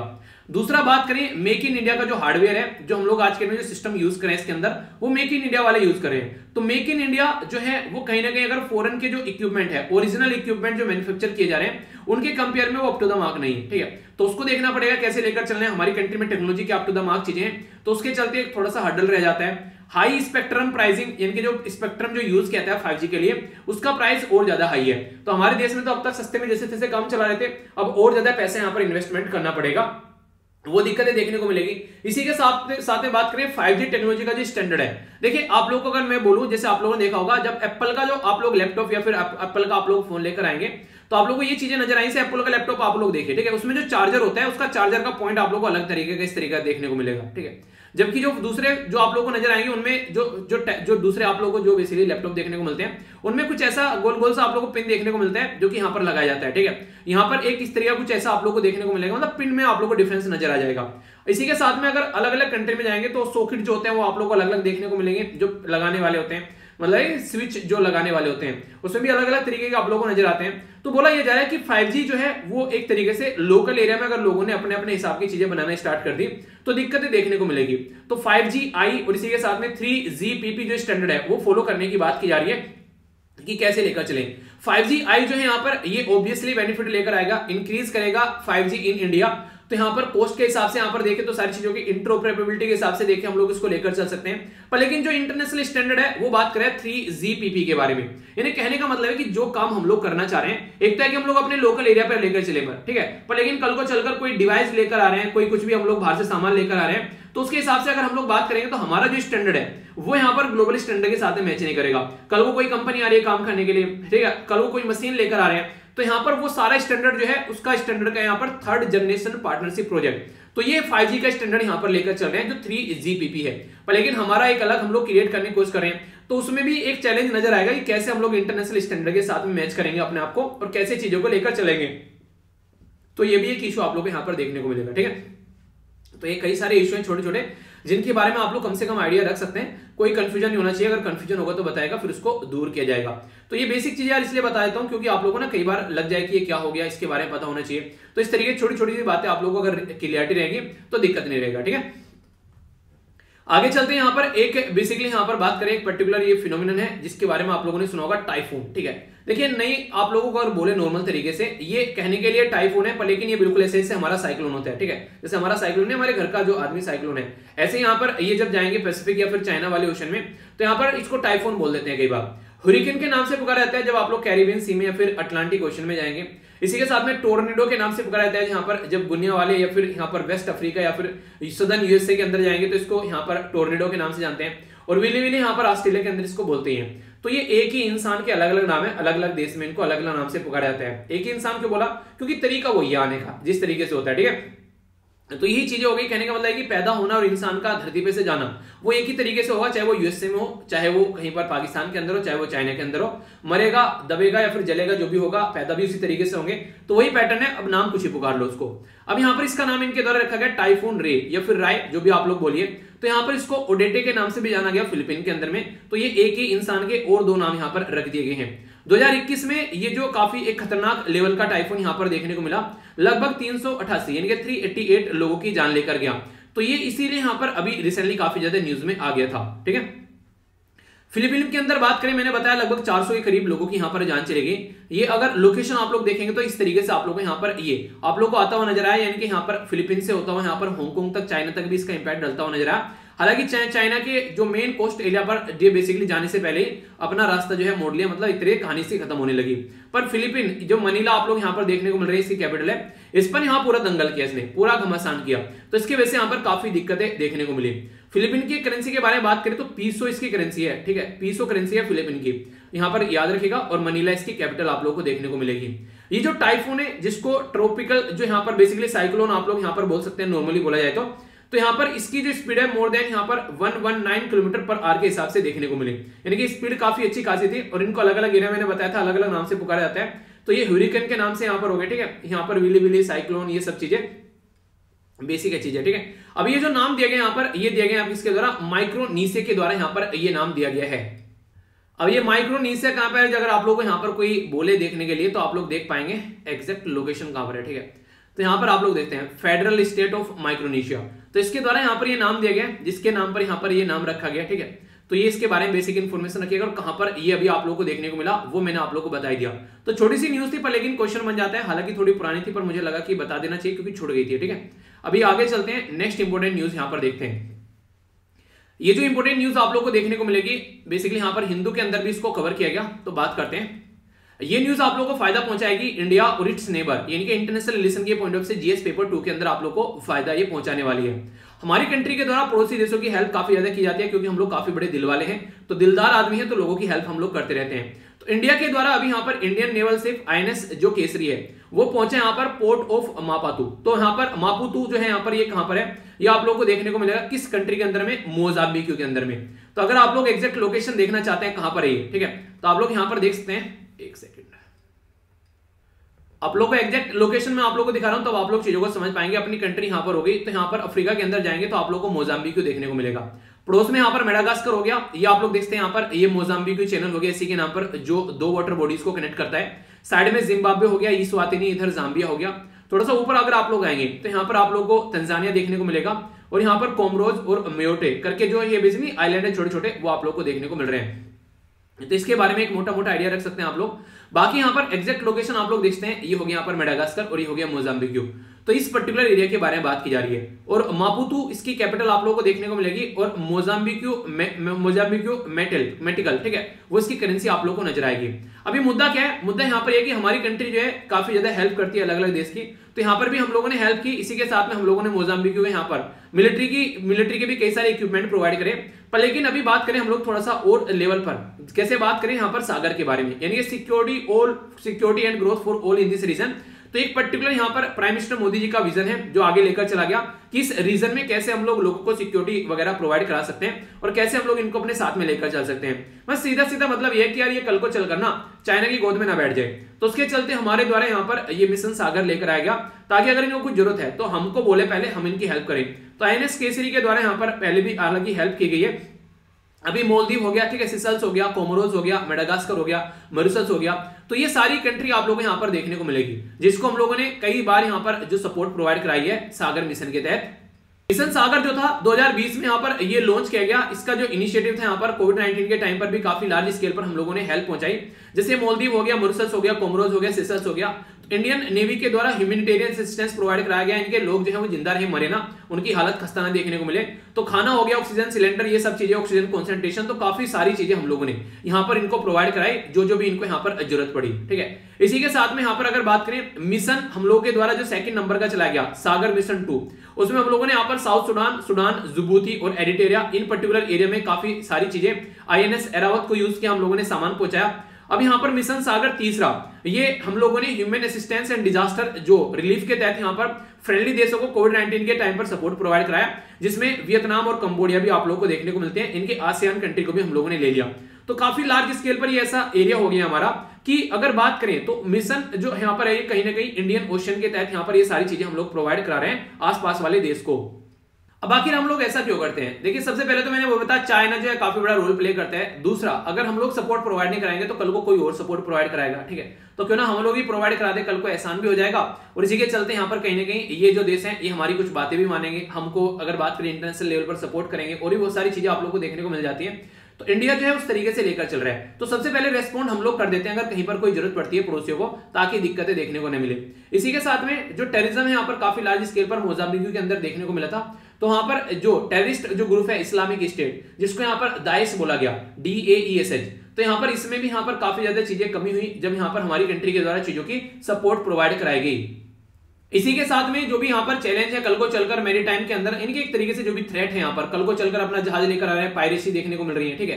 कोई यहाँ पर इलीगल ट्रेड कर रहा है, उन सारे मुद्दों को भी रोकने का काम किया गया इनके द्वारा मिलकर। और इसी के साथ में यहाँ पर जब गोवा के अंदर, ये इंपॉर्टेंट पॉइंट बन जाएगा अभी यहाँ पर जो थीम थी, यहाँ पर डिस्कशन की सेकंड जो एडिशन था, गोवा मैरीटाइम कॉन्क्लेव का, ये नवंबर 2021 के अंदर में। तो यहाँ पर सारे जो देश थे, साथ में आए इंडियन ओशन रीजन के तो वहाँ पर भी इस मुद्दे पर काफ़ी ज़्यादा फोकस किया गया कि कैसे कि यहाँ पर इन चीज़ों को रोकना है, ठीक है? अगर बात करें यहाँ पर विजन सागर के बारे में तो security and growth for all in this region वैसे तो लॉन्च किया गया था यहाँ पर 2015 में, पर लेकिन आगे चलकर इसके पार्ट बनाने स्टार्ट कर दिए। जैसे 2020 में अलग पार्ट आ गया, फिर पार्ट सेकंड पार्ट थर्ड इस तरीके से, ठीक है? तो ये क्या करता है? ये इकोनॉमिक और कॉपरेशन की बात करता है जो हमारे पड़ोसी एरिया के जो लोग हैं, उनके साथ में अच्छे से चीज़ों को लेकर चला जाए। और इसी के साथ में हमारे नेशनल इंटरेस्ट और उनके नेशनल इंटरेस्ट को कैसे हम लोग सिंक्रोनस कर सकते हैं, एक दूसरे के साथ में हेल्प प्रोवाइड करा सकते हैं सपोर्ट कर सकते हैं कोलेबरेट कर सकते हैं इंटरनेशनल रूल और रेगुलेशन के हिसाब से, चीज़ों को आगे लेकर चल सकते हैं, ये चीज़ें आप लोग को देखने को मिली। एक्ट ईस्ट पॉलिसी हो गया प्रोजेक्ट सागरमाला हो गया प्रोजेक्ट मौसम हो गया, ठीक है? ये सारी चीज़ें, या फिर ब्लू इकोनॉमी के बारे में बात करें तो हम लोग इनको मिलकर यहाँ पर साथ में लेकर चलते हैं। इनके बहुत सारे ऐसे एरिया जिसमें हम लोग मिलकर काम करते हैं और जहाँ जहाँ पर जो जो इश्यू देखने को मिल रहे हैं, उसका सोल्यूशन निकालने की कोशिश करते हैं। तो ये क्या हो गया? ये विजन सागर आप लोग को देखने को मिला। ये जो इंपॉर्टेंट पॉइंट है, वैसे आप लोगों ने कई बार इसके बारे में सुना होगा, पर लेकिन हम लोग बातें बोल तो देते हैं, पर लेकिन उसके लिए रिवेन्यू कहाँ से आएगा, वो सोचने वाली बातें हैं। जैसे हम लोगों ने यहाँ पर बोल दिया कि 2070 तक हम लोगों ने इसको कंप्लीट करना है। प्राइम मिनिस्टर मोदी साहब के द्वारा बोला गया था कसम तो तुम खुआरे हो मेरे से कि 2070 तक हम लोग कंप्लीट कर लेंगे। पर लेकिन हमसे अकेले होगा नहीं तुमको पैसा देना पड़ेगा। तो अभी उसी पैसे के बारे में जब एनालिसिस किया गया तो एक नया एनालिसिस सामने निकलकर सामने आया कि कॉन्फ्रेंस ऑफ़ पार्टी के अंदर जो टारगेट हम लोगों ने रखा था, ये कॉन्फ्रेंस ऑफ़ पार्टी कहाँ पर हुई थी? ये यूके यानी कि ग्लासगो के अंदर देखने को मिली थी यूके के अंदर में। तो उसमें 2070 तक हम लोगों ने बोला कि हम लोग जो है नेट ज़ीरो एमिशन कर देंगे। यानी कि जितने हम लोग पेड़ काट रहे हैं, उतने ही पेड़ लगा देंगे, कहने का मतलब ये है। जितनी कार्बन डाइऑक्साइड हम लोग रिलीज़ कर रहे हैं, उतनी ही कार्बन डाइऑक्साइड हम लोग जो, हमारा सब्ज्यूम करेंगे ताकि नेट ज़ीरो जो है वो यहाँ पर मार्केट में देखने को मिले। इसके चलते जो यूएस के जो डॉलर है उसके वन ट्रिलियन रोकड़ा लगेगा। यानी कि इतना एक खोखा लगेगा अगर आप लोग ये काम कराना चाहते हैं आने वाले दस साल में तो हमारे घर जो है वो खोखा भिजवा देना तो आप लोगों का काम निपट जाएगा। तो ये बातें बोलेगी यहाँ पर, पर लेकिन ये किस तरीके से आप लोगों को लेकर चलनी है तो समझने वाली बात है। सबसे पहली बात यहाँ पर यह है कि आज की डेट में अगर बात करें तो ग्रीन फाइनेंसिंग के बारे में बात की जा रही है। जैसे हम लोग बोलने लगे कि हम लोग को क्या करना है? एजुकेशन का एक सिस्टम तैयार करना है, ठीक है? तो मिलकर सब हेल्प करें। तो बैंकिंग वाले आएँगे माइक्रो क्रेडिट इंश्योरेंस सब इन्वेस्टमेंट करेंगे। यानी कि पब्लिक प्राइवेट और नॉन प्रॉफिट जो सेक्टर है सस्टेनेबल डेवलपमेंट के लिए प्रायोरिटी ध्यान में रखते हुए सब सारे साथ मिलकर आगे आएँगे। यानी कि कहने का मतलब यहाँ पर यह है कि गवर्नमेंट अपने हिसाब से काम करेगी क्या क्या चीज़ों को आसान करना है ताकि लोग जो आसानी से काम कर सके। जो बिजनेसेस हैं, वो अपने हिसाब से काम करेंगे कहाँ कहाँ पर क्या क्या सोल्यूशन निकाल सकते हैं। और यहाँ पर सिटीजन जो है, वो भी अपने हिसाब से पे कर सकते हैं एनवायरमेंट की फ्रेंडली लाइफ स्टाइल को एंजॉय कर सकते हैं। यानी कि ऐसे नहीं जैसे मैं आप लोग को बोल दूँ कि आगे से आप लोगों को जो बिजली है, वो सोलर पैनल से ही यूज़ करनी है। अपनी छतों पर सोलर पैनल लगा लो, ठीक है? आप लोग क्या करना है? तो कोल वाली बिजली यूज़ नहीं करनी है। तो ये आप लोग का भी एक कॉन्ट्रीब्यूशन आप लोग का यहाँ पर हो जाएगा।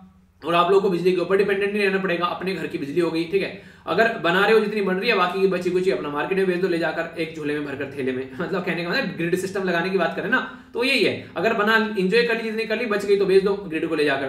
तो ऐसी चीज़ें तो ग्रीन फाइनेंसिंग का मतलब है कि सबको मिलकर साथ में आना पड़ेगा।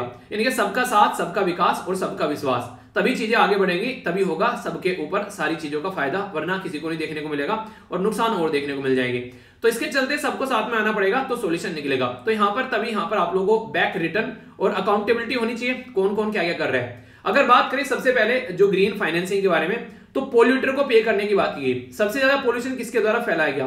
तो जो डेवलप कंट्री थी, यानी कि अमीर ज़्यादा जो थे, उनके द्वारा सबसे ज़्यादा पोल्यूशन फैलाया गया। तो बोला गया कि तुमको पे करना चाहिए पोल्यूशन तो तुम लोगों के द्वारा फैलाया गया।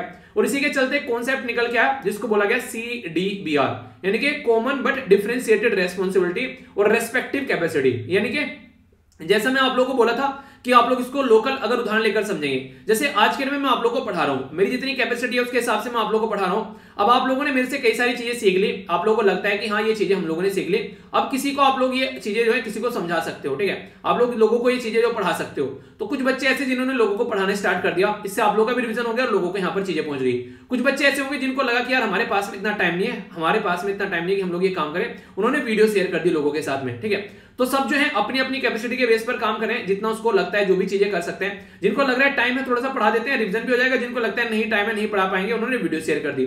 तो अपनी अपनी कैपेसिटी के हिसाब से काम कर ना यहाँ पर लोग। इसी तरीके से अगर आप लोग यहाँ पर देखेंगे तो एक कंट्री है जिसके पास में भरपूर पैसा है। तो वो तो भाई साहब दुनिया भर के एक तरीके से सोलर पैनल लगा देगा, अपना पता नहीं क्या क्या विंड प्लांट लगा देगा, सारे काम कर देगा। पर लेकिन जिसके पास में यहाँ पर दवाई भी नहीं लगवा पा रहे अपने सिटीजन को रोटी नहीं मिल पा रही है सिटीजन को। वो यहाँ पर इन्वायरमेंट के बारे में ध्यान रखेगा। बोलेगा इन्वायरमेंट बाद में देखेंगे। पहले रोटी खा ले दो वक्त की यार हम। इन्वायरमेंट तो बाद में देखते रहेंगे। तो ये है इसीलिए बोला कॉमन बट डिफ्रेंशिएटेड रेस्पॉन्सिबिलिटी यानी कॉमन कॉमन तो यह है कि क्लाइमेट चेंज की प्रॉब्लम को टैकल करने पर लेकिन अपनी अपनी औकात के हिसाब से हम लोग को काम करने हैं। ये बोला गया, और रेस्पेक्टिव कैपेबिलिटी जितनी भी है हमारी, उसके हिसाब से काम करने हैं। तो ये नया कॉन्सेप्ट यहाँ पर लेकर आया गया। अगर यहाँ पर ये काम करना है आप लोगों को क्लाइमेट चेंज का मुद्दा रोकना है तो बोला यह गया है कि यहाँ पर जो भी आज के में जो चीज़ें हैं, उसमें डेवलप कंट्री को रोल प्ले करना पड़ेगा। डेवलप्ड मतलब देखते रहे जो अमीर कंट्री है, ठीक है? तो यहाँ पर डेवलप कंट्री को क्या करना पड़ेगा? डेवलपिंग कंट्री यानी कि जो अभी नई नई कंट्री पैदा हुई है, एक तरीके से नई नई अभी अमीर होना स्टार्ट हो रखी है, उनको फ़ायदा पहुंचाना पड़ेगा। तो इसके चलते क्लाइमेट चेंज के लिए फाइनेंस आप लोगों को देना पड़ेगा, बिना पैसे के नहीं होगा कुछ भी, ठीक है? कैसे काम चलेगा बिना पैसे का आप लोग ये बताओ। तो इसके चलते बोला गया कि वन ट्रिलियन एनुअली यहाँ पर देना पड़ेगा कंट्रीज़ को, तब जाकर ये सोल्यूशन आप लोग अचीव कर पाओगे। वरना ये सारी बातें, सारे वादे ये धरे रह जाएँगे, कोई भी सोल्यूशन यहाँ पर नहीं निकलेगा। अगर मोटे मोटे तौर पर मैं इनके बारे में आप लोगों से बात करूँ, यहाँ पर क्या फाइनेंस के बारे में अभी मुद्दे चल रहे हैं? मुद्दे यहाँ पर ये चल रहे हैं कि कैनकन कैनकन कहाँ पर है ये आप लोग बताइए, चलिए। ये आप लोग को कहाँ पर देखने को मिलेगी? चलिए बता देता हूँ मैक्सिको के अंदर है, ठीक है। तो मेक्सिको के अंदर यहाँ पर कैनकन एक एग्रीमेंट हुआ था उसमें 2010 में। तो ये बोला गया था कि जो डेवलप कंट्री यानी कि जो अमीर कंट्री है, उनको 100 बिलियन देने स्टार्ट करने हैं 2020 से। तो यही बात फिर बोली गई आगे पेरिस क्लाइमेट एग्रीमेंट के तरह कि हाँ ऐसा कुछ करना है। पर लेकिन अब तक भी यहाँ पर इनके द्वारा अपना काम पूरा नहीं किया गया। डेवलप कंट्री जो है, बस्ती घूम रही है। इवन यहाँ तो डोनाल्ड ट्रंप भाई साहब तो ऐसा किया कि पैसा एक ही नहीं दूँगा क्लाइम पेरिस क्लाइमेट एग्रीमेंट से बाहर निकल जाऊँगा। पैसा नहीं दूँगा भाई साहब मैं बिल्कुल भी, ठीक है? क्योंकि बिजनेसमैन आदमी बिज़नेस के पॉइंट ऑफ़ व्यू सोचेगा तो हरकत देखेगी। अभी यहाँ पर united nation framework convention on climate change के हिसाब से माने तो यहाँ पर बोला गया कि अब गोल को अचीव करना स्टार्ट करो 100 बिलियन पर ईयर आप लोगों को देना पड़ेगा डेवलपिंग कंट्री को, ठीक है? तो डेवलप कंट्री जो है, उनको डेवलपिंग कंट्री को पैसा देना पड़ेगा। तो डेवलप जो कंट्री यहाँ पर अगर बात करें, उनको डेवलपिंग कंट्री को पैसा देना पड़ेगा, यानी कि अमीर देश को, गरीब देशों को पैसा देना पड़ेगा, ताकि गरीब देश जो है, वो अपने देश में काम कर सके और क्लाइमेट चेंज के मुद्दे को सुधार सके। ज़्यादा रिटर्न नहीं है ग्लोबल लेवल पर कई सारे ऐसे सिस्टम है जिनके द्वारा क्लाइमेट फाइनेंसिंग की बात की गई। पहला तो एडेप्शन हुआ, यानी कि पहला बोला गया क्योटो प्रोटोकॉल के थ्रू हम लोग फाइनेंसिंग करेंगे, ठीक है? तो क्योटो प्रोटोकॉल के तहत यहाँ पर अडेप्ट किया गया कैसे आप लोग फाइनेंसिंग करोगे। तो यहाँ पर कंक्रीट प्रोजेक्ट के बारे में बात की गई, ठीक है? कि वनरेबल कम्युनिटी को या फिर डेवलपिंग कंट्री को कैसा पैसा आप लोग यहाँ पर देना है? तो क्योटो प्रोटोकॉल में बातें की गई ग्रीन क्लाइमेट जो फंड है यहाँ पर। ये बेसिकली सामने निकल कर आया कि ग्रीन क्लाइमेट फंड जो है, ये एक मैकेनिज्म रहेगी, जो कि 2010 में स्टेब्लिश की गई यहाँ पर, ठीक है? तो इंडिया जो है, वो पुश कर रहा है रिच कंट्री को कि पेरिस एग्रीमेंट के हिसाब से आप लोग 100 बिलियन वो है, वो यहाँ पर प्रोवाइड कराओ। आगे अगर बात करें यहाँ पर ग्लोबल इन्वायरमेंट फंड के बारे में बात की जा रही है तो ये इंप्लीमेंट किया गया था 1994 में। तो यहाँ पर भी बातें की गई थी यार इन्वायरमेंट के फंड के बारे में बात करो। तो कई सारी चीज़ें हैं, जैसे स्पेस अगर बात करें स्पेशल क्लाइमेट जो चेंज फंड है, ठीक है? लीस्ट डेवलप कंट्री फंड है तो पर लेकिन ये सारे फंड बना बना कर रख दिए। फंड तो तब काम करेगा ना जब इसमें आकर कोई पैसा देगा। तो ये सारी गुल्लक जो है वो खाली पड़ी हुई है, इसमें कोई पैसा देने के लिए तैयार नहीं है। अगर इंडिया के बारे में बात करें तो फाइनेंसिंग फ्रॉम डोमेस्टिक रिसोर्सेज से हम लोग को देखना पड़ा क्योंकि इन्होंने तो हाथ उठा दिए, पैसे नहीं दे रहे तो हम लोग अपने घर से ही बोलने लगे, यार, अपने आप ही मिलकर कर लेते हैं, बाहर से तो पैसा मिलने से रहा। ठीक है? तो हम लोगों ने काम स्टार्ट कर दिया। डोमेस्टिक रिसोर्सेज के थ्रू कहीं टैक्स लगाने स्टार्ट कर दिया, वो सारी चीज़ें छोटी छोटी हम लोगों ने काम करने स्टार्ट कर दिए। तो अकॉर्डिंग टू थर्ड जो यहाँ पर अभी फाइनल जो अपडेटेड रिपोर्ट है 2021 की यूएनएफसीसी यहाँ पर 2014 से लेकर 2019 तक का। यहाँ पर ग्लोबल इन्वायरमेंट फैसिलिटी और ग्रीन क्लाइमेट फंड के द्वारा अप्रूव किया गया ग्रांट यूएसडी डॉलर यहाँ पर वन मिलियन ठीक है? जो कि आप लोगों को देखने को मिलेगा। और डोमेस्टिक जो मोबिलाइजेशन है यहाँ पर, ये वन अगर बात करें यहाँ पर, दो जो यहाँ पर कोरोस्पोंडिंग डोमेस्टिक मोबिलाइजेशन कितना था? 1.374 बिलियन यानी कि यहाँ मिलियन में काम चल रही है और यहाँ पर हम लोग बिलियन में काम कर रहे हैं। तो यानी कि इंटरनेशनल लेवल से ज़्यादा पैसा मिल नहीं रहा है, अपने आप ही जुगाड़ पानी हम लोग करना पड़ रहा है। फंड फॉर ग्रीन फाइनेंसिंग के बारे में बात करें तो नेशनल जो हमारी कंट्री में नेशनल क्लीन एनर्जी फंड है, ठीक है? नेशनल एडेप्शन फंड है नेशनल एक्शन प्लान है, इसी के साथ में क्लाइमेट चेंज जो फाइनेंस यूनिट है मिनिस्ट्री ऑफ़ फाइनेंस के अंदर में। तो अलग अलग लेवल पर हम लोगों ने अलग अलग अपने हिसाब से काम करने स्टार्ट कर दिया। सामने वाले के ऊपर डिपेंडेंट रहेंगे तो सारी चीज़ें हाथ से निकल जाएँगी। कई सारे इनिशिएटिव लेकर आए, जैसे कि यहाँ पर बात की जा रही है perform achieve and trade PAT scheme लेकर आए यहाँ पर, ठीक है? इसके तहत यहाँ पर टारगेट किया गया कार्बन एमिशन को, ठीक है? एनकरेज करने की बात की फॉरेन कैपिटल ताकि एफडीआई आ सके हमारे देश में इन्वेस्टमेंट करने के लिए इस फ़ील्ड में। एनकरेज किया जाए रिन्यूएबल एनर्जी सोलर एनर्जी हो गया विंड एनर्जी हो गया। तो इनके ऊपर काम किया जाए ताकि लोग जो इनको फोर्स भी किया जाए। नेशनल हाइड्रोजन मिशन हम लोग लेकर आ रहे हैं ताकि और अच्छी से चीज़ों को इंप्लीमेंट किया जाए। इसी के साथ में हमारे देश में नेशनली डिटरमाइंड प्रोग्राम चलाया गया, अलग से कि हम लोग ये चीज़ों को अचीव करेंगे। ग्रोस डोमेस्टिक प्रोडक्ट जो है थर्टी से तो जो जो ग्रोस डोमेस्टिक जो प्रोडक्ट है थर्टी थ्री से लेकर थर्टी फाइव परसेंट की बात की जा रही है यहाँ पर लेवल टू थाउज़ेंड फोर में। अभी इसको बढ़ाकर हम लोगों ने फोर्टी परसेंट के करीब कर दिया। इसी के साथ में और भी कई सारे अचीवमेंट है, हम लोग अपने अपने लेवल पर काम कर रहे हैं यहाँ पर, ताकि इनको अचीव किया जा सके। 2.5 से लेके 3 बिलियन टन तक का कार्बन डाइऑक्साइड इक्विलेंट हम लोग एडिशनल जो फॉरेस्ट और ट्री कवर को कवर करेंगे, ताकि यहाँ पर इस तरीके से भी हम लोग कम कर सके। तो श्यामदाम दंड भेद लगाकर हम लोग बहुत काम कर रहे हैं। अब कितना इंप्लीमेंट होगा, कितना रिज़ल्ट आएगा तो देखने वाली बात है। एक आर्टिकल यहाँ पर और कवर करा देता हूँ आप लोगों यहाँ पर गवर्नेंस और सोशल जस्टिस के बारे में बात करें तो जीएस पेपर टू के अंदर आएगा। ये मैं आप लोगों को इसलिए जल्दी जल्दी बता दूँगा, क्योंकि ऑलरेडी इसको कई बार बता चुका हूँ। दो बार तो आप लोगों को ऑलरेडी डिस्कस कर चुका हूँ मैं इसको। तो थोड़ा सा एक ओवरव्यू आप लोगों को और मिल जाएगा यहाँ पर। हिंदू के अंदर मैंने दो बार आप लोगों को कवर कर चुका हूँ ऑलरेडी ठीक है? तो यहाँ पर नीति आयोग के बारे में अगर बात करें तो नीति आयोग के द्वारा हेल्थ के बारे में तो स्टेट हेल्थ इंडेक्स प्रस्तुत किया गया। नीति आयोग यहाँ पर डेवलप करता है इसको, पर लेकिन वर्ल्ड बैंक जो है, वो टेक्निकल असिस्टेंस प्रोवाइड कराता है। और जो यहाँ पर सलाह करते हैं यहाँ पर तो health and family welfare ministry के द्वारा सलाह की जाती है।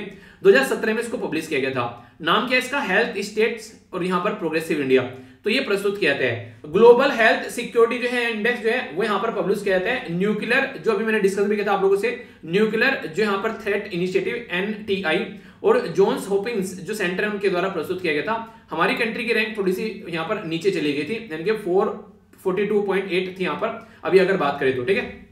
इसके बारे में आप लोगों से बात की थी। अभी अगर बात करें तो तीन तरीके से इसको देखा गया हेल्थ का आउटकम क्या है? गवर्नेंस का क्या है? और की इनपुट क्या है? ठीक है? तो आप लोगों को ये बताना है कितने कितने प्रतिशत था ये मैंने आप लोगों से डिस्कस किया था। तो यहाँ पर बात करें तो जो गुड गवर्नेंस के बारे में बात करते हैं तो की जो इनपुट जो की जो इनपुट रिसोर्सेज आप लोगों को देखने को मिलेंगे तो इनके ऊपर यहाँ पर खेला गया। अलग अलग लेवल पर बताया गया लार्ज स्टेट स्मॉलर स्टेट और यूनिट टेरिटरी तो यहाँ पर किन की रैंक क्या क्या रही तो वो आप लोग यहाँ पर भी देख सकते हैं। केरला, तमिलनाडु और तेलंगाना। इनके द्वारा टॉप किया गया, यूपी, बिहार और एमपी इनके द्वारा नीचे से टॉप किया गया। तो ये पूरा डेटा आप लोगों को यहाँ पर देखने को मिला, ठीक है? तो इसमें यहाँ पर अलग अलग भी आप लोग यहाँ पर देखते हैं। ओवरऑल जो है किस किस के द्वारा टॉप किया गया, ये इतना ज़्यादा रटना नहीं है, ठीक है? यहाँ तो परफॉर्मेंस दिखा रखी है सबकी। तो यहाँ पर इंक्रीमेंटल किसका है और ओवरऑल क्या है, ये सारी चीज़ें आप लोग यहाँ पर देख सकते हैं, जो कि बेसिकली बताने की भी कोशिश की गई है एक एक कर कर इससे क्या होगा? देखिए, एक तो पॉलिसी मेकिंग में आप लोगों को इंप्रूवमेंट करना पड़ेगा। हेल्थ के अंदर अगर कंपटीशन होता है अलग अलग राज्य के अंदर में तो लोगों को हेल्थ की सर्विस अच्छी मिलना स्टार्ट हो जाती है। इसी के साथ में सस्टेनेबल डेवलपमेंट गोल अचीव करना आप लोगों को। तीसरा सस्टेनेबल डेवलपमेंट हेल्थ के बारे में बात करते हैं। वो आप लोग अच्छे से लेकर चल रहे हैं। रोल जो है नेशनल हेल्थ मिशन को भी काफ़ी इंपोर्टेंट है। वो आप लोगों को ढंग से लेकर चलना है, अगर चीज़ों को अचीव करना है। इसी के साथ में जो यहाँ पर लिमिटेशन क्या यहाँ पर? नोट कवर्ड क्रिटिकल एरिया कई सारे एरिया को छोड़ दिया जाता है, जैसे non communicable disease mental health ये एक तरीके से बात करें। फाइनेंशियल रिस्क प्रोटेक्शन के बारे में कोई बात ही नहीं की गई। इसी के साथ में विदाउट एनी फ़ील्ड वेरिफिकेशन यानी कि ऊपर ऊपर से डेटा उठा लिया, धरती पर जाकर देखा नहीं ग्राउंड लेवल पर क्या हो रहा है, ये दिक्कतें देखने को मिलेगी।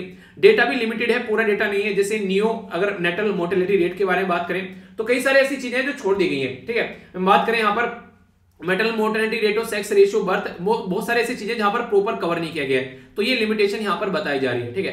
वैसे इनिशिएटिव कई सारे हैं, जैसे नेशनल हेल्थ मिशन हो गया, आयुष्मान भारत जो यहाँ पर प्रधानमंत्री जन आरोग्य योजना हो गया, प्रधानमंत्री स्वस्थ जो यहाँ पर, प्रधानमंत्री स्वास्थ्य जो सुरक्षा योजना हो गया, प्रधानमंत्री भारतीय जन औषधि जो प्रोग्राम हो गया, आयुष्मान भारत वाला प्रोग्राम हो गया, ठीक है? वैसे तो आर्टिकल तो मुझे एक और कवर करना था, पर उसके आगे कवर करूँगा यहाँ पर, ये भी काफ़ी इंटरेस्टिंग आर्टिकल था टाइम ज़्यादा हो गया ठीक है? ज़्यादा पढ़ाने पढ़ाने के चक्कर में मैं ना, ये है आर्टिकल इसको आगे कवर कर लूँगा, ठीक है? बात करेंगे यहाँ पर तमिलनाडु का, ये यहाँ पर त्रिकोमाली। तो यहाँ पर त्रिकोमाली जो पर्टिकुलर एरिया है, उसके बारे में बात करेंगे। ऑयल जो टैंकर से रिलेटेड यहाँ पर ये आर्टिकल था, ठीक है? टेंशन मत लेना, आगे इसको कवर कर लूँगा अच्छे से। तो काफ़ी कुछ आज हम लोगों ने डिस्कस कर दिया, कई सारे आर्टिकल हो गए आज आप लोगों के। मतलब हद से ज़्यादा आर्टिकल मैंने कवर कर दिया आज ठीक है? जोश जोश में। तो इसलिए पता नहीं क्विज भी अब आप लोगों का कवर होगा नहीं दिखा दूँगा आप लोग कर लेना क्विज को। एक तो ये कवर कर दिया मैंने हेल्थ वाला आर्टिकल हो गया आप लोगों का ठीक है? एक बेलागावी यानी कि बेलगांव वाला कर दिया उसी के साथ में रिओर्गेनाइजेशन स्टेट पढ़ा दिया इसने टाइम ज़्यादा ले लिया मेरा ठीक है? फाइव मैंने आप लोग को डिटेल में पढ़ाई दिया क्या क्या चक्कर है फाइव का तो उसमें कोई कंफ्यूजन आप लोगों को नहीं होना चाहिए इसी के साथ में हम लोगों ने क्या डिस्कस किया? हम्म, हम्म, मैंने कॉन्फ्रेंस ऑफ़ पार्टी वाला क्लाइमेट चेंज वाला मुद्दा पूरा आप लोगों को बता दिया। पैसा कुछ नहीं आ रहा है क्या क्या मुद्दे हैं, सारा चीज़ें डिटेल में बता दिया आप लोगों को। इसी के साथ मैंने आप लोगों को यहाँ पर जो आईएनएस जो यहाँ पर केसरी वाला जो है, एक तरीके से जो मिशन था हमारा, सागर मिशन उसके बारे में आप लोगों को बता दिया। इसी के साथ में एक टाइफोन भी आप लोग कवर करा दिया। तो माल मसाला काफ़ी ज़्यादा हो गया, ठीक है? तो इसलिए अब क्विज जो है, वो आप लोग अपने आप से अटेम्प्ट करना ओके सॉरी यार क्विज के लिए टाइम नहीं बचा पाया मैं, ठीक है? तो यहाँ पर आप लोग देखते हैं, ये क्विज है, इसको आप लोग अटेम्प्ट कीजिए। हालाँकि मैंने स्टार्टिंग में बता दिया था। कल का क्विज ये है आप लोगों इसको थोड़ा सा पोज कर, जूम कर एक बार जूम कर रहा हूँ थोड़ा सा पोज कर लीजिए आंसर दीजिए इनके और फिर इसके बाद में आंसर आप लोगों को बताता हूँ ठीक है? आंसर देना इसको रोके चिटिंग नहीं करनी है ठीक है?